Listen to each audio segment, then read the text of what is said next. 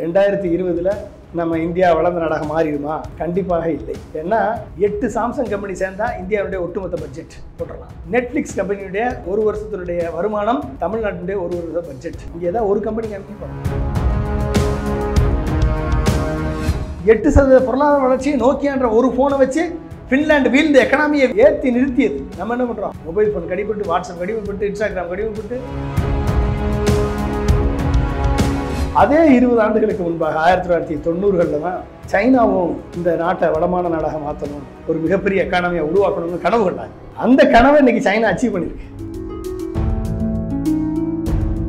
நதிகள் இணைக்கப்பட வேண்டும் அதில் நீர்வழிச்சாலை உருவாக்கப்படணும். ஏன் பண்ணணும் எதுக்கு பண்ணணும் எப்படி பண்ணணும்? சும்மா சொல்லிட்டு போல. எப்படி உருவாக்கணும்? புத்தகத்தில் எழுதி கொடுத்து போயிருக்கேன் நதி நீர் இணைப்பு சொன்னால் அவன் கூச்சல் இவன் கூச்சல் அது முடியாது இது முடியாது அது நினைஞ்சு போகும். நதிகளை இணைப்பது பைத்தியக்காரத்தனம் ஒரு பாதி பைத்தியம் இங்கே இருக்கான் இன்னைக்கு இருக்கக்கூடிய மத்திய அரசு திரு பிரதமர் மோடி அவர்களுக்கு மிகப்பெரிய வாய்ப்பு இரண்டாவது வாய்ப்பு கொடுத்துருக்காங்க. ஆனால் இன்னும் அவர் வளர்ச்சியவே ஆரம்பிக்கல. அவர் சொன்ன அத்தனை மெகா திட்டங்களும் ஃபெயிலியர் ஆகிடுச்சு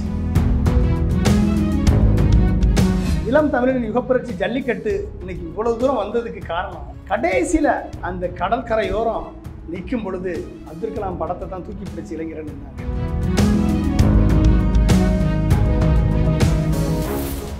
கலாம் சார் அவருடைய விஷன் டுவெண்ட்டி டுவெண்ட்டி அப்படிங்கிறது இன்னமும் சில பேருக்கு தெரியாமல் இருக்குது ஸோ அவங்களுக்கு விஷன் டுவெண்ட்டி டுவெண்ட்டினா என்ன அப்படிங்கிற ஒரு கேள்வியோட ஆரம்பிக்கணும்னு நினைக்கிறேன். அதாவது டாக்டர் அப்துல் கலாம் அவர்கள் அவர் தலைமையில் உருவாக்கப்பட்ட அந்த developed India vision twenty twenty என்ற ஒரு தொலைநோக்கு பார்வை திட்டம் இருபது இருபதில் இந்தியாவை ஒரு அறிவியல் சிறந்த வல்லரசு இந்தியாவாக உருவாக்க வேண்டும்.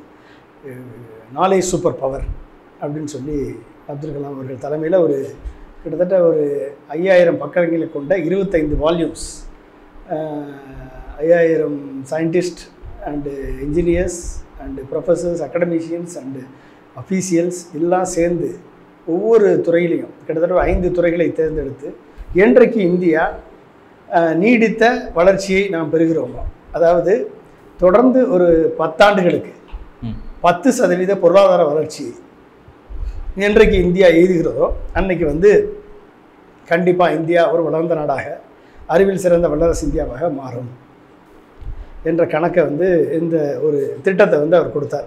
இன்றைக்கு இன்றைய நிலவையில் அரசியல் நிலவையில் அப்துல் கலாம் கனவு விதைத்தால் மட்டும்தான் இன்றைக்கி இருக்கக்கூடிய மாணவர்களுக்கு ஒரு மிகப்பெரிய லட்சியம் தேவைப்படும் டைவர்ஷன்ஸ் அதிகமாக இருக்குது கோபமும் குரங்கும் நம் மாணவர்களையும் இளைஞர் சமுதாயத்தையும் வாட்டி எடுக்குது. எதுக்கெடுத்தாலும் கோபம். கோபம் வந்தால் தான் புரட்சிகள் கோபத்தால் தான் புரட்சிகள் வெடித்திருக்கிறது. அது மட்டும் இல்லாமல் குரங்குன்னு ஒன்று இருக்குது இப்போ நம்ம நம்மளுடைய ஒட்டுமொத்த டை லட்சியத்தையும் கனவையும் டைவெர்ட் பண்ணுறதுக்கு இன்றைக்கி மிகப்பெரிய கொண- குரங்கு மொபைல் ஃபோன் ஒரு மிகப்பெரிய ஒரு ஆராய்ச்சிக்கான சாதனம். மிகப்பெரிய கம்யூனிகேஷன் டிவைஸ் மிகப்பெரிய connectivity device knowledge device but அந்த டிவைஸ் அந்த டிவைஸ் மூலமாக இன்னைக்கு ஒட்டுமொத்த இளைஞர் சமுதாயம் டைவெர்ட் ஆகி கிடக்கு. அப்போ இந்த டிவைஸை வச்சு எப்படி நாலேஜை உருவாக்குறது? இந்த டிவைஸை உருவாக்கி தன்னுடைய நாட்டுடைய பொருளாதார வளர்த்தை உருவாக்கின நாடுகள் எத்தனை? எட்டு சதவீத பொருளாதார வளர்ச்சியை நோக்கியான்ற ஒரு ஃபோனை வச்சு ஃபின்லாண்டு வீழ்ந்த எக்கனாமியை ஏற்றி நிறுத்தியது. நம்ம என்ன பண்ணுறோம் ஒட்டுமொத்த அந்த டிவைஸை யூஸ் பண்ணி நம்ம ஒட்டுமொத்த நாலேஜையும் படுகுழியில் தள்ளி நம்மளுடைய மனித வளத்தையும் தள்ளி டைவர்ஷனுக்கு அடிமைப்பட்டு மொபைல் ஃபோனுக்கு அடிமைப்பட்டு வாட்ஸ்அப் அடிமைப்பட்டு இன்ஸ்டாகிராம் அடிமைப்பட்டு டிக்டாக் அடிமைப்பட்டு ஸ்மைலிக்கு அடிமைப்பட்டு நம்ம திறமைகளை வெளிப்படுத்தக்கூடிய சாதனங்களாக அவர்கள் கொடுத்தால் அதையே அதை வந்து ஒரு பாதகமான டிவைஸாக யூஸ் பண்ணுறது எத்தனை பேர் அதனால் அடிமைப்படுறவங்க எத்தனை பேர்? அதை யூஸ் பண்ணக்கூடாதுன்னு சொல்லலை எல்லாமே நம்ம யூஸ் பண்ணணும். எல்லாத்தையும் கடந்து போக தெரியும். ரெண்டாயிரத்தி முப்பதில் எரிசக்தி சுதந்திரத்தை பெற்ற நாடாக இந்தியா மாறணும் கொடுத்தார் அப்துல் கலாம். சூரிய மின்சக்தி அணு மின்சக்தி சும்மா சொல்லிட்டு போல எப்படி உருவாக்கணும்? புத்தகத்தில் எழுதி கொடுத்து போயிருக்காரு நதிகள் இணைக்கப்பட வேண்டும் அதில் நீர்வழிச்சாலை உருவாக்கப்படணும். ஏன் பண்ணணும்? எதுக்கு பண்ணணும்? எப்படி பண்ணணும்? கொடுத்துருக்காரு விசனை கொடுத்துருக்காரு. புறா திட்டம் தற்சார்பு பொருளாதாரத்தை கிராமப்புறத்துக்கு கொண்டு வந்தால்தான் கிராமப்புறங்கள் நகர்ப்புறங்கள் வசதிகளை பெறும். கொடுத்துருக்காரு. ஒவ்வொரு கிராமமும் இன்னைக்கு மத்திய அரசு கொடுக்கக்கூடிய நிதியை நம்பி இருக்கக்கூடாது. அந்த நிதியை தாண்டி செல்ஃப் ஜென்ரேட்டிங் ரெவன்யூ உருவாக்கணும்.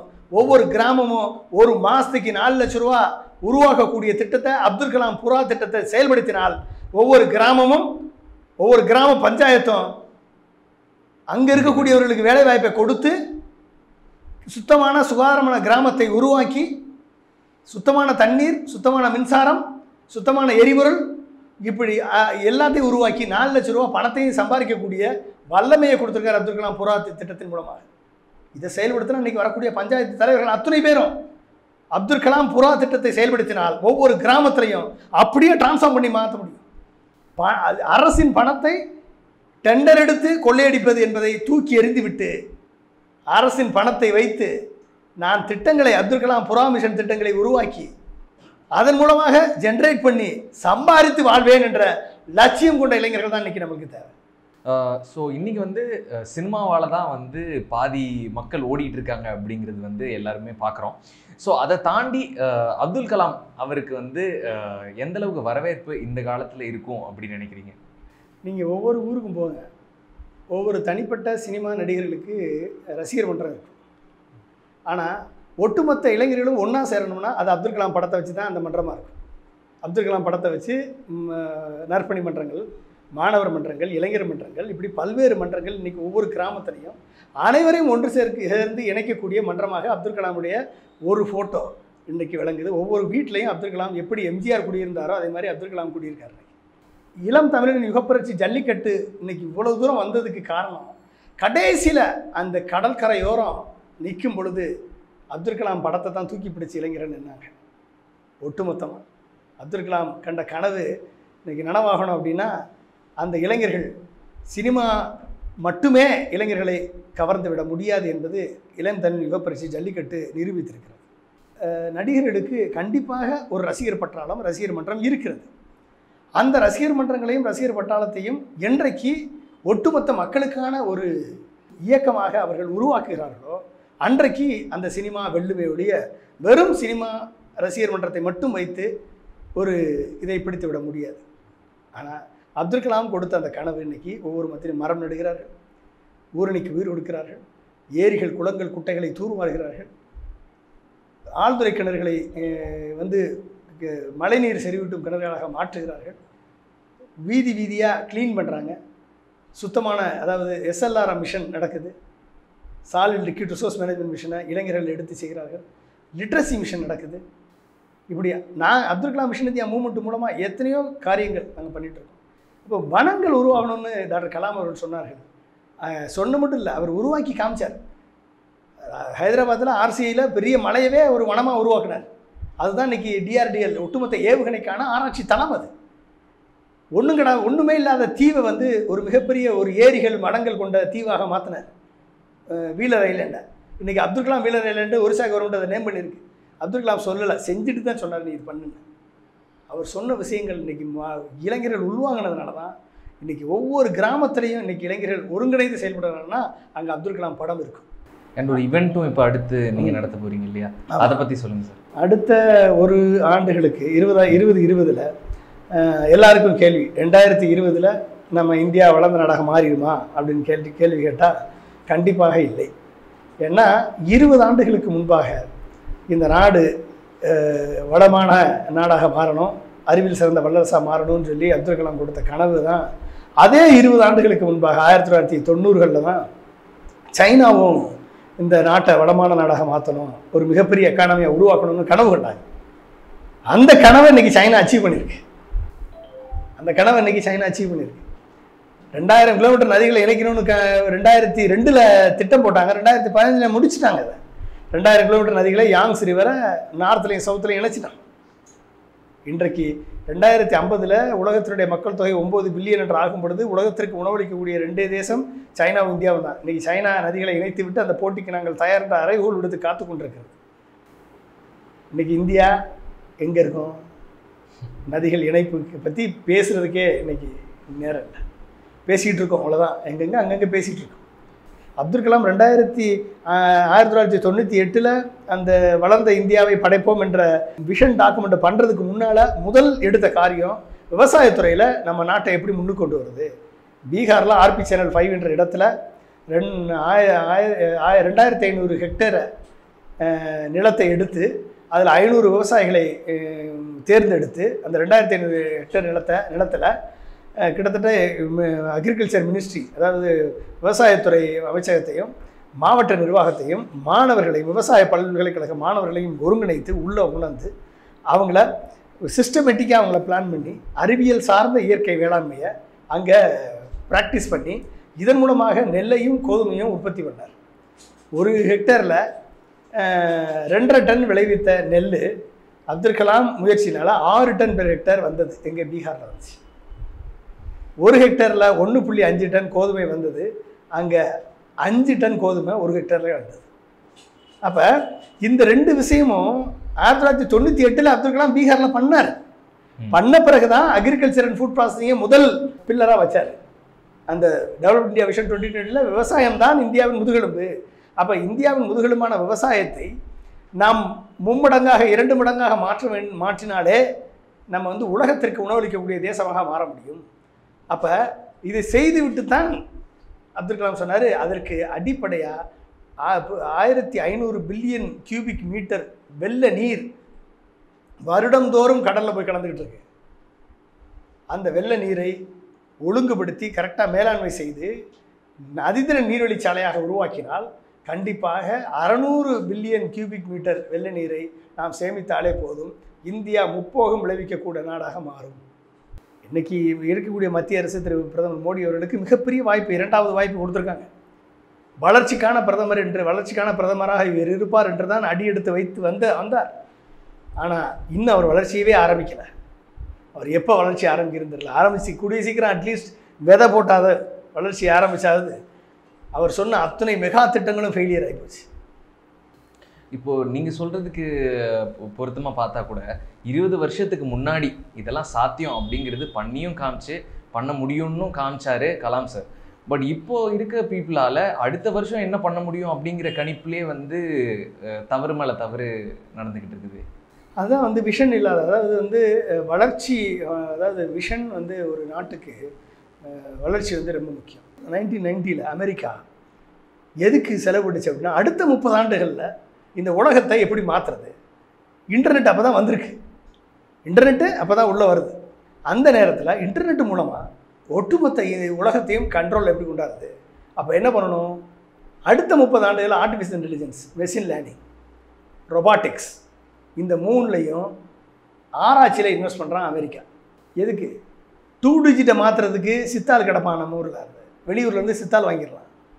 ஆனால் சிமெண்ட்டை உருவாக்குறதுக்கு புது பில்டிங் மெட்டீரியல் உருவாக்குறதுக்கு அடுத்த முப்பது ஆண்டுகளுக்கு எப்படி வரணும்னா அதுக்கு எப்படிப்பட்ட ஒரு ஆர்கிடெக்ட் வேணும்னு சொல்லி ஆர்கிடெக்சர் உருவாக்குறாங்க அப்போ ஒரு நாடு இன்றைக்கி ஒட்டுமொத்த இந்தியாவும் ஆயிரத்தி தொள்ளாயிரத்தி தொண்ணூறில் உருவான தொழில்நுட்பம்.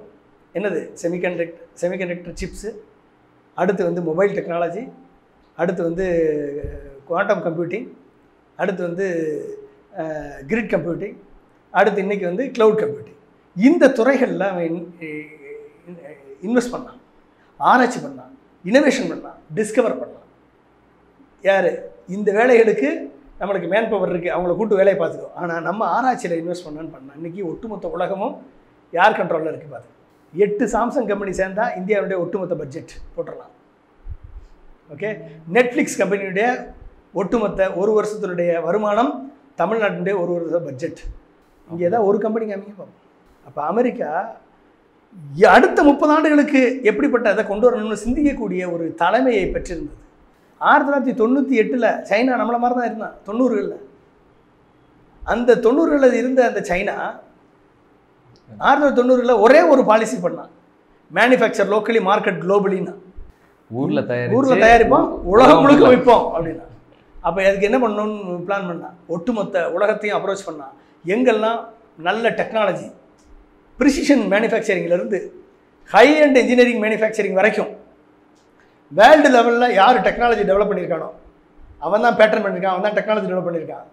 அந்த டெக்னாலஜி அத்தனை பேரையும் இங்கே வந்து மேனுஃபேக்சர் பண்ணுங்கள் நான் கொடுக்குறேன் லோ காஸ்ட் மேனுஃபேக்சரிங் நான் கிரியேட் பண்ணுறேன் அத்தனை மேனுஃபேக்சரிங் டெக்னாலஜியை ஃபுல்லாக அங்கே இறக்குமதி பண்ணான் மிகப்பெரிய பல்க் வால்யூமாக ஒரு மேனுஃபேக்சரிங் செக்டாரை உருவாக்கினான் நம்ம நாட்டில் ஒரு மேனுஃபேக்சரிங் இண்டஸ்ட்ரியை உருவாக்கி இத்தனை ஃபெசிலிட்டியை கிரியேட் பண்ணுறதுக்கு மேலே சைனாவில் போய் மேனுஃபேக்சரிங் பண்ணிட்டோம்னா உலகம் முழுக்க சீப்பாக போகலான்னு முடிவு பண்ணான் ஒட்டுமொத்த உலகமும் ரெண்டாயிரத்தி ஆயிரத்தி தொள்ளாயிரத்தி தொண்ணூற்றி எட்டு ரெண்டாயிரத்தி எட்டில் பத்தே வருஷத்தில் ஒட்டுமொத்த உலகம் அவன் கண்ட்ரோலில் மேனுஃபேக்சரிங் ஹப்பாக மாற்றிட்டான் சைனாவை. அடுத்த முப்பது ஆண்டுக்கு என்ன செய்யணும்? நதிகளை இணைக்கணும். திட்டம் போட்டான். நதியை இணைத்து விட்டான். இங்கே நதிநீர் இணைப்பு சொன்னால் அவன் கூச்சல் இவன் கூச்சல் அது முடியாது இது முடியாது அது நனைஞ்சு போகும். நதிகளை இணைக்கவே கு- இணைப்பது பைத்தியக்காரத்தனம் இப்படி பாதி பைத்தியம் இங்கே இருக்கான் நதிகளை இணைப்பது பைத்தியக்காரனும் இங்கே பைத்தியம் பேசிகிட்டு இருக்கான். அப்புறம் அவனை வச்சு என்ன பண்ணுறது அப்போ வந்து என்னென்னா இன்னைய வருங்கால இளைஞர்களுக்கு அந்த உணர்வு அது தெரியணும்.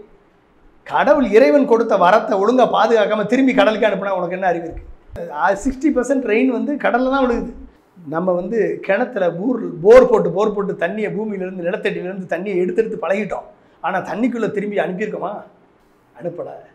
அதை பண்ணணும் தான் அப்துல் கலாம் வந்து நதிகள் இணைக்கப்படணும். ஏரிகள் குளங்கள் கண்மாய்கள் தூர்வாரப்படணும். ஊரணிக்கு உயிர் கொடுக்கணும் அப்படின்னார். அப்போ அந்த கலாம் கொடுத்த திட்டத்தை நிறைவேற்றினாலே போதும். அனைவருக்கும் வேலை கிடைக்கும். அனைத்து துறைகள்லையும் வேலை கிடைக்கும். ஸோ இது இந்த ஹோல் திட்டத்தை வந்து சுருக்கமாக ஒரு கன்க்ளூஷன் கொடுக்கணும் அப்படின்னா என்ன சுருக்கமாகனா நாங்கள் வந்து எப்படி பாடம் எடுத்தோம்? ஐஐடி ஐஏஎம் அப்புறம் யூனிவர்சிட்டி ஸ்டூடெண்ட்ஸ்க்கு வந்து கிட்டத்தட்ட ஒரு ஒரு பெரிய கோர்ஸே நாங்கள் நடத்தினோம்.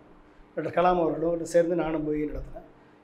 அந்த கோர்ஸில் வந்து ஒரு பத்து pillars distinctive pillars for vision twenty twenty அது அந்த பில்லர்ஸை வந்து நம்ம பார்க்கும் பொழுது கிராமத்திற்கும் நகரத்திற்கும் ஓகே இடைப்பட்ட சமூக பொருளாதார இடைவெளி குறைந்த குறைந்த நாடாக இந்தியாவை மாற்ற வேண்டும். இது ஃபர்ஸ்ட் பில்லர் இதுதான் புறா திட்டம். செகண்ட் பில்லர் சுத்தமான தண்ணீர். அனைவருக்கும் தேவையான எரிசக்தி. எல்லோருக்கும் சமமாக கிடைக்கும் நாடாக இந்தியாவை மாற்ற வேண்டும். ரெண்டாவது மூணாவது பில்லர் விவசாயம் தொழில் மற்றும் சேவை துறைகள் ஒருங்கிணைந்து முன்னேற்ற பாதைக்கு மக்களை அழைத்துச் செல்லும் நாடாக இந்தியாவை மாற்ற வேண்டும். நாலாவது பில்லர் பண்பாடு நிறைந்த தரமான கல்வி சமூக பொருளாதார வேறுபாட்டை மீறி அனைவருக்கும் சமமாக கிடைக்கும் நாடாக இந்தியாவை மாற்ற வேண்டும். அடுத்து விஞ்ஞானிகளும் அறிவார்ந்த வல்லுநர்களும் தொழில் முதலீட்டாளர்களுக்கும் உகந்த நாடாக ஏற்ற ஒரு நாடாக இந்தியாவை மாற்ற வேண்டும். இது ஐந்தாவது பில்லர். ஆறாவது பில்லர் தரமான மருத்துவ வசதி. அனைவருக்கும் வேறுபாடு இல்லாமல் கிடைக்கக்கூடிய நாடாக இந்தியாவை மாற்ற வேண்டும். ஏழு ஒரு பொறுப்பான வெளிப்படையான ஊழலற்ற ஆட்சிமுறை நிர்வாகம் அமைந்த நாடாக இந்தியாவை மாற்ற வேண்டும். எட்டாவது பில்லர் வறுமை முற்றிலும் ஒழிக்கப்பட்டு கல்லாமை களையப்பட்டு பெண்களுக்கும் குழந்தைகளுக்கும் எதிரான குற்றங்கள் இல்லாமல் ஒழிக்கப்பட்டு சமுதாயத்தில் இருக்கும் யாரும் நாம் தனிமைப்படுத்தப்பட்டு விட்டோம் என்ற எண்ணம் இல்லாத நாடாக இந்தியாவை மாற்ற வேண்டும். ஓகே எட்டு ஒம்பது. ஒரு இனிமையான வளமான பாதுகாப்பு மிகுந்த அமைதியான சுகாதாரமான வளமிக்க வளர்ச்சி பாதையை நோக்கி பீறு நடை ஓடக்கூடிய நாடாக இந்தியாவை மாற்ற வேண்டும். பத்தாவது உலகத்திலேயே வாழ்வதற்கு ஏற்ற அருமையான நாடாகவும் வளமான இந்தியாவை நோக்கி வழிநடத்தி செல்லக்கூடிய தலைவர்களை பெற்ற நாடாக இந்தியாவை உருவாக்க வேண்டும். அந்த பணி தான் இப்போ நம்ம பண்ணுற பணி. அப்போ வளமான நாடை ஒரு நோக்கி நட வழிநடத்தக்கூடிய தலைவர்களை முதல்ல உருவாக்கினா மேலே இருக்கக்கூடிய ஒம்பது நடத்துகிறோம் அப்போ பஞ்சாயத்துலேருந்து பார்லிமெண்ட் வரைக்கும் இந்த தலைவர்களை உருவாக்கிட்டோம்னா இந்த ஒம்போதையும் உருவாக்கிடலாம். அப்போ இன்னைக்கு இருக்கக்கூடிய அப்துல் கலாம் விட்டு சென்ற பணியை தொடர்ந்து நான் எடுத்துகிட்டு போகிறது காரணம் இந்த தலைவர்களை உருவாக்கணும். சமூக நீதி பெற்ற நாடு எல்லா துறைகளையும் வளர்ந்த நாடு. ஆனால் இந்த ஊழலும் அந்த நெப்போட்டிசமும் இன்றைக்கி ஒட்டுமொத்தமாக இன்றைக்கி பாதிச்சிருக்கு. அதையும் மாற்றி ஒரு அறிவார்ந்த சமுதாயத்தை கட்டமைக்கும். சாதி ஒரு நாளும் நம்மை சாதாரண ஆக்காத. மதம் நம்மை மனிதனாக்குவதற்கு தானே ஒழிய மதம்படி தலைவதற்காக அல்ல. அறிவு ஒன்று தான் நம்மை மகானாக்கும் என்ற தத்துவத்தை நம்ம விதைத்தால்தான் அறிவார்ந்த சமுதாயத்தை நாம் கட்டளிப்ப முடியும். அறிவார்ந்த சமுதாயத்தை கட்டளிப்பினால்தான் ஒரு வளமான நாடுகளுக்கு இணையான நாடாக தமிழகத்தை மாற்ற முடியும். தமிழகம் மாறினால் கண்டிப்பாக இந்தியா ஒரு அறிவார்ந்த வல்லரசு இந்தியாவாக உருவாகும். கண்டிப்பாக அப்துல் கலாம் கண்ட கனவு ரெண்டாயிரத்தி இருபதில் அது விதைக்கப்பட்ட விதைகள் முளைக்க தொடங்கும். கண்டிப்பாக அடுத்து ஒரு பத்தாண்டுகளுக்குள்ள அது மரமாக மலரும். கண்டிப்பாக அதன் நிழலில் தமிழகம் ஒரு வளர்ந்த நாடாக்களுக்கு இணையான நாடாக மாறும். இந்தியா ஒரு அறிவில் சிறந்த வல்லரசு இந்தியாவாக மாறும். வணக்கம்.